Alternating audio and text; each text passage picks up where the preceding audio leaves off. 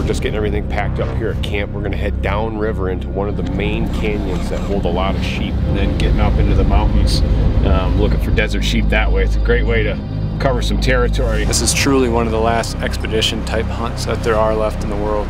Blue sheep in Pakistan, this is one of those very limited tags and most of the tags go unused every year just because it is this. Just getting out first morning here in West Texas looking for some aoudad.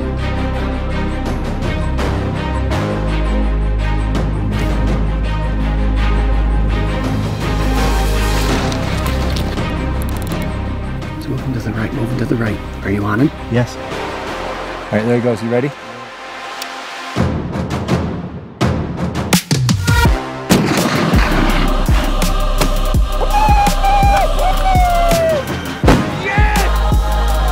Yes! yes!